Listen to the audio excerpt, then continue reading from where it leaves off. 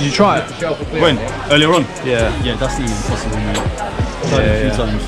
50p is a good one to start with. Is it? For the size and the weight, mm. I use a half dollar. Yeah. You see? That does my head in. Cool, isn't it? Looks cool when you make it jump across. So getting it from here Don't start doing this shit. across. Did you just do it? Yeah, I did it really quick. If you slow it down, you see it go across. Oh. But I try on you, right? Hold your hands flat. Yeah. And then put this one on top.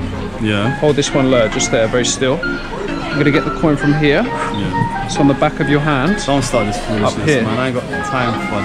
See, this is why I don't like you guys, man. I don't like the foolishness. Whoa!